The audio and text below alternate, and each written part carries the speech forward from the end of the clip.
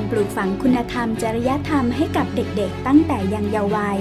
เป็นสิ่งที่ทางโรงเรียนหาดใหญ่เจริญราชพิทยาจังหวัดสงขลา ได้ส่งเสริมนักเรียนมาอย่างตลอดต่อเนื่อง จนได้ขึ้นชื่อว่าเป็นโรงเรียนต้นแบบในฝัน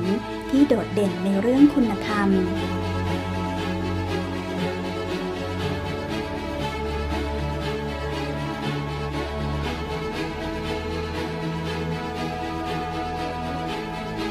ราะเป็นกิจกรรมที่ดี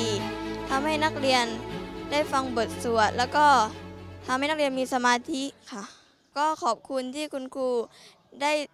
สร้างกิจกรรมดีๆ แบบนี้ให้กับโรงเรียนและพี่ๆน้องๆค่ะ จากการที่เห็นก็คือว่าจะเห็นเขามีความนิ่งมากขึ้น มีสมาธิในการเรียนนะคะ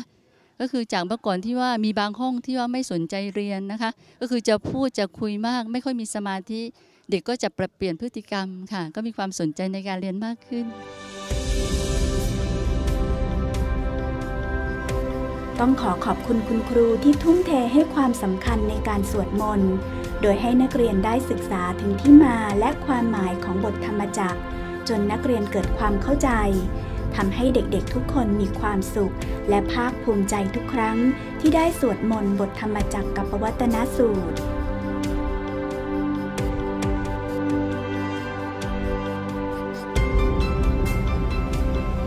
ดธรรมมาจากนะคะทำให้รู้สึกว่าเป็นบทสอนที่สำคัญมากค่ะ เพราะจะช่วยเราละจากกิเลสได้ค่ะ เป็นหลักคำสอนที่ดีมากๆค่ะ ในการสวดมนต์สวดธรรมจักรเนี่ยค่ะ คุณครูจะแปลความหมาย เพราะว่าเด็กๆเขาจะไม่ทราบความหมายนะคะ แต่พอเราแปลความหมายไปครั้งหนึ่งแล้วเนี่ยในบทสวดตอนท้ายเรื่องมรรคมีองค์แปดเนี่ยเด็กเขาก็จะรู้แล้วสัมมาอาชีวะอะไรแบบนี้นะเขาก็จะเริ่มเข้าใจว่าในบทสวดธรรมจักรเนี่ยสอนอะไรบ้าง แล้วเขาก็จะ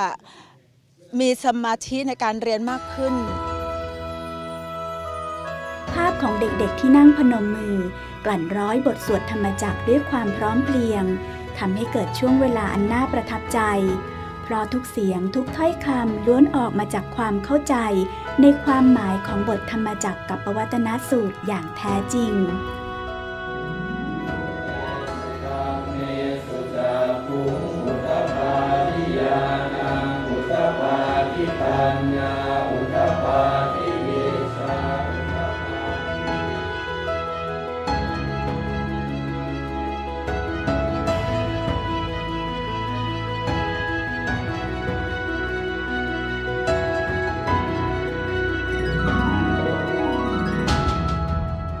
เขาเข้าใจแล้วเนี่ย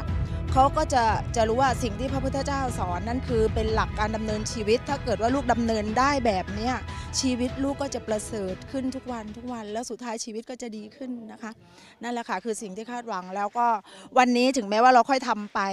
อาจจะได้ประมาณหนึ่งแต่ถ้าในอนาคตเด็กทุกคนเป็นอย่างนี้นี่คือความสุขที่สุดของครูคนหนึ่งค่ะคุณครูก็อยากจะเชิญชวนให้กับโรงเรียนอื่นที่ยังไม่ได้เริ่มสวดบทธรรมจักรกับปวัตนสูตรนะคะ ก็คือให้ว่ารณรงค์ขอให้ร่วมมือการให้เด็กได้สวดเป็นประจำ อาจจะสัปดาห์ละครั้งหนึ่งก็ได้นะคะ มันก็จะมีส่วนช่วยนักเรียนเนี่ยปรับเปลี่ยนพฤติกรรมในทางที่ดีขึ้นมีสมาธิในการเรียน มีความสนใจแล้วก็นิ่งมากขึ้นค่ะ ความสงบที่เกิดจากใจที่เป็นสมาธิ เป็นผลดีที่เกิดขึ้นจากการที่คุณครูให้การสนับสนุนนักเรียน ได้สวดมนต์บทธรรมจักร ทำให้เด็กๆ ได้เปลี่ยนแปลงตัวเอง ทั้งในเรื่องการเรียนและการใช้ชีวิต ซึ่งจะเป็นการส่งผ่านความดีที่จะขยายผลไปสู่ครอบครัวและชุมชน ได้หันมาให้ความสำคัญ ในการฟื้นฟูศิลธรรมให้เกิดขึ้นในสังคมไทยอย่างยั่งยืน